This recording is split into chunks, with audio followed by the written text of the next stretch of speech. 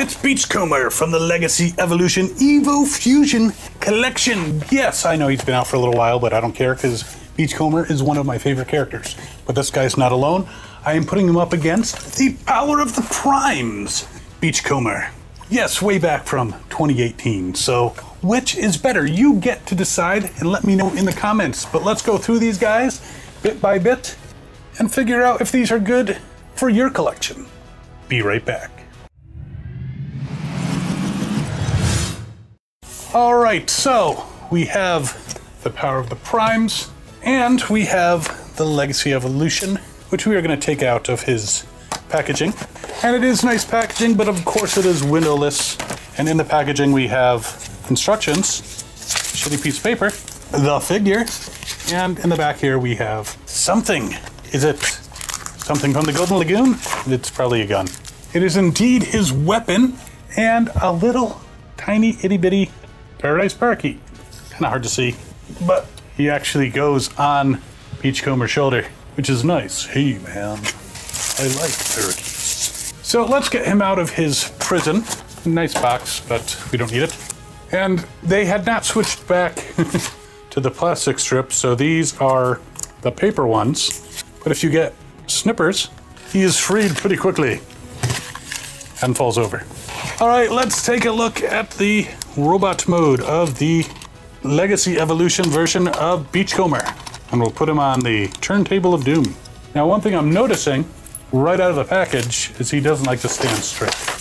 But if you push his heels up, those little pipes, then he's in a much better position. All right, we got him framed well. There he is, Beachcomber. Take a look at him from all sides. He has a Autobot symbol on his chest. He looks pretty show accurate. Of course, the wheels on his shoulders, wheels on his side of his knees. Not too much kibble in the back, though. You can see some like engine, and you can see the uh, pipes that presumably are the cage for the dune buggy. But a cool looking figure, nice detailing on the chest, little uh, color, more on his stomach, but a very cool figure from all angles. All right, let's check out his posability. Full to- toes up Jean Claude Van Damme and actually balances pretty well in that position. He can kick forward pretty much 90 degrees, kick back even a little bit higher. Of course, you can do a side kick and complete swivel. Now, he does also have ankle swivels, ankle tilts, so you can put him in a nice wide pose and have him very stable. So as long as you get those pipes up into his feet, you're good. Does he twist at the waist? He does. Felt a little stiff, but uh, can go all the way around. Arms can go all the way around. Can go off to the side, not fully 90 degrees, but pretty good amount. Bends at the elbow. He has a swivel. And his head can turn somewhat. It doesn't turn all the way. I would imagine it's because of. Oh, let me push him up a little bit. He still doesn't turn all the way. He's got a square head, and when you're trying to turn it, it runs into bits of kibble on the back here. Still, he can at least turn a little bit, so he can be in some dynamic poses. He does have a weapon, which fits nicely into his hand, though he doesn't like war. And you can put on one of his pipes a nice little paradise parakeet. Now, this is supposed to be Evo Fusion. Got a little bit of detritus, actual detritus, not the character, off the end of his gun there. But it doesn't show anything. It highlights the gun and says Evo Fusion, but there's nothing to attach it to. There's doesn't appear to flip out. It does have a side peg, so maybe you could attach it to other things.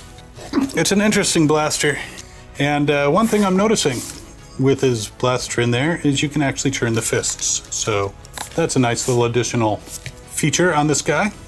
Maybe with a side peg, you can also just put it on the side of his arm, and he could use it almost like Decepticons do. Oh, if you really want, you can actually put his gun on his back for storage. The little engine ports. I mean, you could probably put it on the back of his arm, but that kind of interferes with movement, so it's a little sh- more shallow. So it knocks off pretty easy, but if you put it in, and then you can move his arms around, and he's got a, a gun on his back. That's pretty much him in robot mode. So let's take a look at the power of the primes, who does not look that different, but he is smaller, and we're going to talk about that in a moment. So taking a look at him, very similar.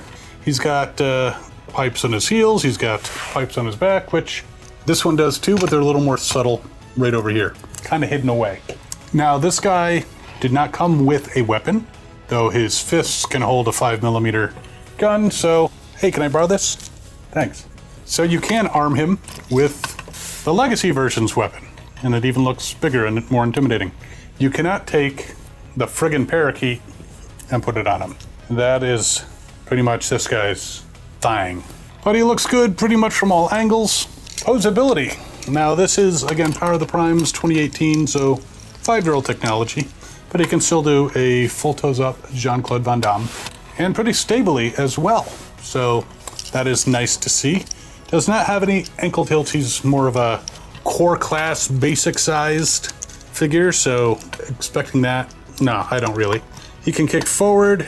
Kicking back is a problem because of these pieces here, but he can kick out to the side, bend at the knee, and he does have rotation on the leg all the way around. Can he twist at the waist? He cannot. But again, core class, basic size, legend size, whatever you want to call them, they change terminology for this stuff all the time. His arm can go all the way around. He can bend at the elbow. He can swivel very nicely. And his head just fell apart. But I can push it back together. So there are two pegs in there that hold the head together. So when you're turning it, be careful. I may uh, because it just came apart again, I may use a little bit of glue just to, just a little dab, just to make sure that that doesn't happen again. I don't know if it's the age of the toy or just the design, but uh, not happy that his head came apart. So now he's not as stable standing as the Legacy, but he's still a cool figure. Side by side. Yes, you can have your weapon back, you warmonger. So as you can see, the Legacy has a bit of height on the Power of the Primes, but still they're very similar in design. It's hard to go too far away from this with Beachcomber. He's a dune buggy, can't really change him all that much. But the blue is a bit um, darker, more royal on the Legacy. It's a little lighter, more sun bleached perhaps on the Power of the Primes. But they both have their headlights on their knees, they both have the wheels.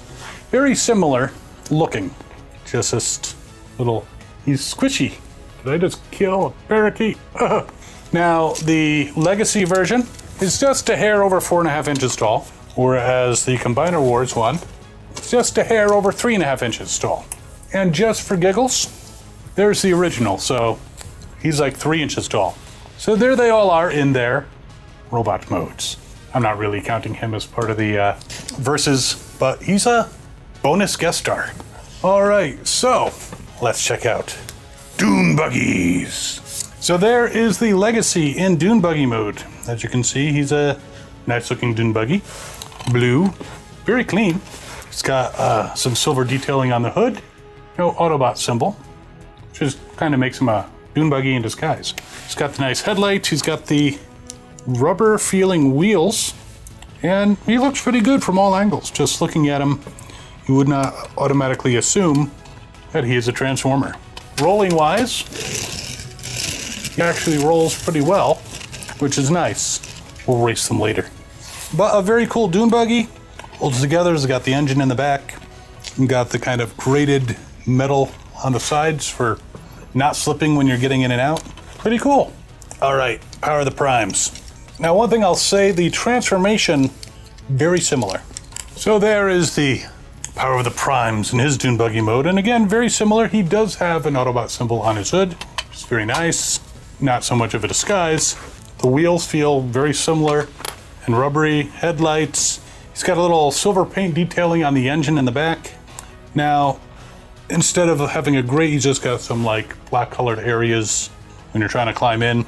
But putting them side by side, you can see this one, the Legacy, actually has seats which is kind of important. The Power of the Primes does not. So, but still they're very similar. You can see the difference in the color, but they're actually very close in how they transform. Obviously a little bit more posability on the Legacy. Of the Primes is about three and a half inches long, whereas the Legacy is about four. So not a huge difference. I mean, the lack of seats, the lack of ankle swivels, there are a few things. And the back of robot mode Legacy Beachcomber's legs are don't look quite as hollow because he's got covers. But they're still very cool and just a little more size comparison. There's the original. Very small between both of them. Now you may have seen my uh, favorite Autobots video and Beachcomber is one of them. He was the first Transformer actually bought. I did not start in 1984. I started in 1985 when the second wave came out and then I had to scramble to get a lot of the uh, Wave 1 stuff. Eventually I managed, but it took work. So there you have them, a quick review. Now, a couple things with the Legacy Beachcomber is you can actually mount the weapon right on the front, which actually adds a little bit of a, a nice grill bumper to him. It's still kind of obvious it's a gun. You can also take it and apparently attach it to the cage, and he can use that. And he can give a ride to local wildlife like a paradise parakeet. He's okay. I didn't kill him. Still a little squishy, but uh, he seems fine. He bounced back. So the addition of a weapon is nice. The darker blue color matches the G1 a little more closely than the Power of the Primes color does. Where's the rub sign? I kind of miss rub signs a little. There you have it, Beachcomber. And I'd like you to let me know in the comments which one you think is better or if you like them all. And I'll put in the description links so that you can get all these guys. And of course, I hope you're enjoying these as much as I enjoy making these videos. So, and I hope you stick around for more. While you're mulling over which is better, check out this video over here where I go over my five most favorite G1 Autobots. It was tough to come up with them. And we will see you next time. As always, have fun and good hunting.